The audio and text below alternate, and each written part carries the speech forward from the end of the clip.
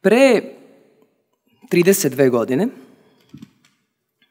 32 godine, ja sam ostvarila jednu od svojih velikih, velikih životnih želja. Ušla sam u svet medija i počela sam ostvaruje svoj san da budem novinarka. Bilo je teško. Ja sam u to vrijeme bila samohrana majka i bila je inflacija. Ja sam mesečno zarađivala honorar na televiziji toliki da sam mogla da kupim dve jabuke, pola kilograma hleba i jedan margarin dobro jutro. Za mjesec dana. Um, ja nisam imala ideju kako ću se iščupati iz toga. Meni je televizija ušla u krv, ja sam to počela intravenozno da osjećam, to je bila moja želja, moja strast. Ja nisam imala nikakvu ideju kako ću se ja iščupati iz svega kako ja da ostanem tu. I tada, pre 32 godine, ja uopšte nisam shvatala važnost toga što ja nisam znala kako. Najvažnija stvar je bila što ja nisam znala kako ću se iščupati. Isto tako nisam prepoznavala važnost toga što sam tačno znala da hoću da ostanem u tom svetu i da to radim. 30 godina kasnije sam ostala bez posla. Dobila sam otkaz. I sedela sam kod kuće i nisam imala nikakve prihode. Ok, ne baš najsjajnija situacija. Neposredno pre nego što dobiti otkaz, je umro jedan od mojih najboljih prijatelja. Zvao se Boris Trivan. Nije trebalo da umre, imao je 39 godina. Ok, znači, ostala sam bez prijatelja, ostala sam bez posla i nisam imala nikakve prihode. Dobro, ok. jedina televizija koja je mogla da, da emituje emisiju Život priča, koja je bila voljena od strane publike, bila izuzetno gledana, bila je cenjena, publika je voljela. Jedina televizija koja je mogla da emituje tu emisiju odbila da se rađuje sa mnom. Dakle, ok, sedim kod kuće, nemam prijatelja, nemam posao, nemam prihode i shvatam polako da moja nada da radim ono što je moj životna stvar vene i da ja nemam tu nikakvu šansu, dobro, i onda sam napunila 50 godina. Kada punite 50 godina, tada na pozivnici za rođendan treba da stoji tekst Dođite i pomozite mi da to proslavimo. Ok, dakle, sad sam sedela kod kuće, nemam prijatelja, nemam posao, nemam prihode, nemam šansu da radim u branši i stara sam. E, Boris je imao da, ovaj, običaj da kaže ti si toliko stara da su se kaubojke već drugi put vratile u modu. Da. I nije baš najsjajniji niz u životu, jel? Međutim, tada sam po ko zna koji put shvatila da od tih tešenja okoline, gledaj to sa vedrije strane, ko zna zašto je to dobro, čovječanstvo nema ništa, i sad je predamnom još 14 minuta da podelim sa vama način na koji ja živim i šta je ono što me je odražalo pre 32 godine i šta je ono što me je odražalo sada i šta je ono što ja sada prenosim drugim ljudima. I to ću da podelim sa vama, ok? Ok. Zamislimo ovako. Imate 10 sekundi. 10 sekundi. Da ako izgovorite naglas ono što je vaš životni cilj, vaša životna želja, životni san, nešto za čim vam srce igra u grudima, nešto kad pomislite na to naježite se. Nešto od čega vam se grudna kost malo pomera. Nešto što kada bi se ostvarilo, vi se odmaknete od toga, pogledajte i kažete za ovo je vredilo živjeti. I da vam dam 10 sekundi da to izgovorite. I posle 10 sekundi to će se ostvariti. Ajde da probamo to.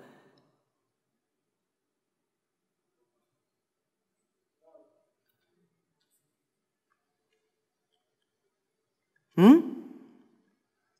Trebalo bi da odbrojava unazad. Šest, pet. Jel biste znali šta je to? Jel biste znali tačno šta je to? Ok, ako ne neko ovako ne, ne bi znalo onako, imam tri uslova, može? Tri uslova da se to ostvari. Prvi uslov jeste da nađete savršeni sistem za ostvarivanje vaših ciljeva. Savršen. savršeni mehanizam. To ćemo da rešimo za 12 minuta. Drugi uslov jeste da znate kako sistem funkcioniše. I treći uslov koji moramo da ispunimo jeste mi moramo da ubijemo pošast savremenog doba, a to su pozitivne misli. Dovoljno je da mislite pozitivno. Ne. Dovoljno je da mislite pozitivno, vaše želje se ostvariti neće. Neće. Um, ja ću vam reći zašto ne podnosim pozitivne misli. Ne podnosim. Kraći odgovor je zato što to ne radi. Duži odgovor zašto ja ne podnosim pozitivne misli jeste zato što to ne radi uopšte. Okay. U prirodi postoji nešto što se zove fraktalni obrazac. To je ponavljajući obrazac. U prirodi se sve ponavlja. Dan, noć, sunce, toplo, plima, oseka. Ponavljaju se oblici u prirodi. Na biljkama, na životinjama, šare, sve se ponavlja. I mi, ljudska bića, smo deo tog ponavljajućeg obrazca. U našim životima se stvari ponavljaju.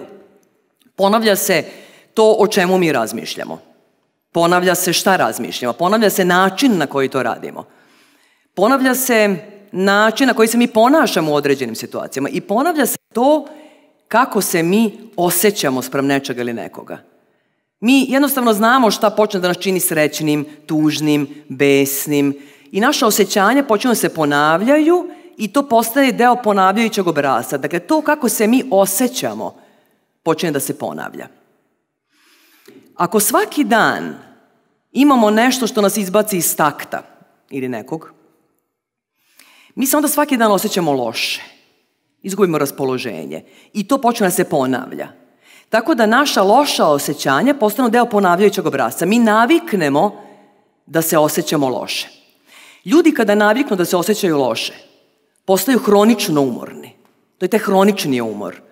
A ljudi kada su hronično umorni, oni počinju da jure za bilo kakvim napretkom, za bilo, je vam poznato to, za bilo kakvim boljitkom, bilo kakvim napretkom, da se bilo šta poboljša. I prosto čovjek čak i kaže, ja, ne znam čega da se uhvatim. To jurnjava za bilo čim boljim. I ta, to još bolduje taj hroničan umor i to onda postaje hronično nezadovoljstvo. Kad čovjek ne zna ni šta treba da uradi sa svojim životom, ali osjeća da je nezadovoljan, da nešto ne valja, kao da tu nešto stoji, da nešto ne valja, hronično nezadovoljstvo. I kako nevolja ne ide sama, kada je hronično čovjek nezadovoljan, nevolja nikada ne ide sama, eto ti pozitivnih misli. Ja ću da vam pokažem kako ja zamišljam da izgledaju pozitivne misli.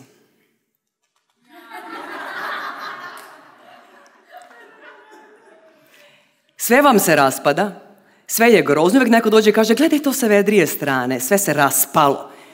Ko zna zašto je to dobro? Šta može bude dobro kad čovjek napuni 50 godina, nema primanja, nema prihoda, nema ništa? Kako? Vi ne možete da ve, naš um u to ne veruje.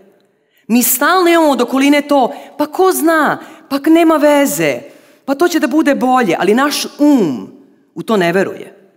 I naš um kada u nešto ne veruje, mi kao da se klatimo, nemamo zašto da se uhvatimo. Mi ne znamo šta da radimo. Ljudi, da se vrati na početak na moja tri uslova, da vam se ostvara životni ciljeve. Prvi uslov jeste da imate savršeni sistem za ostvarivanje vaših ciljeva životnih želja. Imate ga, to je naš um. Naš um je savršeni sistem. Samo nam treba savršeno uputstvo za upotrebu. A to nismo učili. Nismo učili. I zašto je važno da se dogovorimo da moramo ubiti pozitivne misli? Zato što su pozitivne misli nejasne. Nejasne su našem umu, to je uputstvo za upotrebu uma, je potrebna, jasna, tačna i precizna misao. Da manje radim, više spavam, više putujem, manje se nerviram. Naš um ne zna šta da radi sa tim. Ne zna zašto da se uhvati. Našem umu je potrebna jasna i precizna misao. Pozitivne misli nisu jasne. Uopšte nisu jasne. Ok? Znači, treba nam tačno šta hoćemo. To je kao kada biste uzeli mobilni telefon i stiskali sve u isto vreme po njemu. Pa nešto će da se desi kao. Vi nešto radite. Možda slučajno nabodete, ali možda i ne. Kada našem umu dajemo samo pozitivne misli, bez jasnoće, to isto kao da radite ovo. Kao da samo stiskate. I onda kažete pa radim nešto, pa da li, to je bez efekta. Ali nema veze, stiskat ćemo dalje. Sutra je novi dan. Život je lep. Nema veze. Gledaj to sa vedrije strane. Stiska još malo. Nema veze što je besmisleno. To se dešava sa našim umom. To je prva stvar da našem umu su potrebne jasne komande. Šta tačno hoćete. Ne kako. Šta tačno hoćete. Druga stvar koju treba da znate za naš um, za taj savršeni sistem jeste naš um ne poznaje negaciju. Dakle, nemojte pomisliti na dve zelene jabuke. Aha. Naš um ne poznaje negaciju. Nemojte pomisliti na tri pomoranđe. Naš um ne poznaje, ali mi stalno našem umu dajemo komande u negativnom. Da ne zakasnim, da ne zaboravim, da mi se ne desi to što mi se desilo, samo da mi se ne desi. Roditelji svoj deci govore, pazi da ne padneš, pazi da ne padneš, dete čuje da padneš, da padneš. I roditelj još samo doda, ako padneš, tačno ćete ubiti. To je druga stvar koja je jako važna kad imamo naše upustvo za upotrebu. I da se vratim na početak, na onaj fraktalni obrazac. Dakle, sve se ponavlja, naše misli se ponavljaju, naše ponašanja se ponavljaju, naše osjećanja se ponavljaju. Hronično smo umorni od toga i postajemo hronično nezadovoljni. I kada u tom hroničnom nezadovoljstvu damo nejasne komande, mi imamo utisak da kao da u mesto ovako verglamo, kao da ne znamo šta ćemo sa svojim životom. I to doda još malo negativnog osjećaja. Zato pozitivna misao sama kao takva, ona nije jasna komanda. I da je još više i još više tog hroničnog umora i hroničnog nezadovoljstva. Reći ću vam šta ja radim više od 20 godina. Da bi naš um našao jasnu misao, ono što tačno hoćemo da postignemo. Jako je važno da budemo u dobrom stanju, da se dobro osjećamo. E, ok, ali u toku dana, što bi rekli, novi dan, nova budala, ok, stalno se dešava nešto, se iznerviramo. Više od 20 godina ja sebi izazivam dobro stanje, ne pozitivnim mislima. Znate zašto? Zato što naš um ne može da poveruje u pozitivnu misao. Biće bolje, a naš um viče, aha. Gledaj, to se vedrije strane, naš um viče, mhm, gledaj ti se vedrije strane. Ono u šta naš um može da poveruje jeste da osvestimo tog trenutka nešto što je nepobitno. Nešto što je milion posto tačno i što je za nas fenomenalno. Daću vam primjer. Više od 20 godina ja svaki dan osvestim nekoliko puta nešto što je nepobitno tačno i što je potpuno fenomenalno, što mi instant izaziva dobro stanje, to je da ja imam dve noge. Nije li to fenomenalno? Pogledajte, ovi pokreću se. Imam i dve ruke. Imam dva oka da vas vidim. Imam uši, mogu da čujem aplauz na utakmici, na koncertu. To nije da se ja zadovoljim tim što imam pa neću preko toga, ne. To izaziva meni fenomenalno stanje. Samo kad se toga setim. Kad imate dobro stanje, tada možete da imate jasnu misao. Ako nemamo dobro stanje, ne možemo imamo jasnu misao. Onda dođu one pozitivne misli koje nisu jasne misli. Jel, jel ok mehanizam? Jel shvatite mehanizam? Ja kad dođem kući, onda kažem sebi, ja imam gdje da legnem. Ne prokišnjava mi plafon. Imam hrane u frižideru. Mogu da zakucam na petoro vrata, ljudi će mi otvoriti. Imam što da jedem. Otvorim slavinu, voda. Ja to radim svaki dan. Svaki dan. Ako to pokušate, Možda će vam se činiti da nema efekta u početku. Možda. Ali ovaj način dovođenja sebe u dobro stanje, da bismo došli do jasnih misli, naš um hoće da zna tačno šta treba da uradi. Ovaj način je kao da zasadite bambus. Bambus kada se zasadi, ništa se ne dešava, ništa, ništa, ništa i onda odjednom za oko mjesec dana bambus izraste do 30 metara. I to je ponavljajući obrazac. To je taj fraktalni fenomen. Zato je važno da tačno znate šta hoćete. Pre 12 godina ja sam dala otkaz na jednoj televiziji Nisam imala nikakvu ideju šta ću da radim dalje, kako ću dalje, gde da se smestim, ali sam tačno znala kako će izgledati moja sledeća emisija. Emisija Život priča rodila se u mojoj glavi tri godine pre nego što je postala da živi, počela da živi. Jer nisam znala gde će to biti. Nisam znala ni kako će to biti. Ali sam znala da nije važno kako. Tačno sam znala šta hoću. Čak sam nekako znala da će u emisiji biti neke velike bele fotelje. Kada sam došla na razgovor na televiziju koja me primila da radim kod njih, oni su rekli, ali znate, mi nešto nemamo para, pa ćemo reciklirati neke scenografije od prethodnih emisija. Ja kažem, pa dobro, nema veze, televizija šarana laža, to niko neće da primeti. Oni su rekli, mi imamo neke velike bele fotelje, dajte. Moje su. Dakle, tačno sam znala šta hoću. Kada sam, da se vratim onaj moj niz, koji nije slavan niz, sve što se desilo neposredno pre mog 50. rođendana, ostala bez posla, bez prihoda, bez šanse da radim u svojoj branši, onda sam tačno znala šta hoću. Nisam znala kako, ali sam tačno znala šta hoću. Na sve to došla je korona. Okay. Međutim, ja sam tačno znala da hoću da napravim institut za, evo sad upravo šest dana, bit će godinu dana kako sam napravila NLP institut. Pre mesec dana primljena sam u jednu od najprestižnijih međunarodnih asocijacija NLP trenera i to je danas ono što radim. Tačno sam znala da ovo hoću da radim. Ne znajući kako, ali sam tačno znala šta hoću. Zato sam došla ovde da vam kažem, nebitno je kako. Nebitno je kako. Nas traženje kako drži u niskom potencijalu.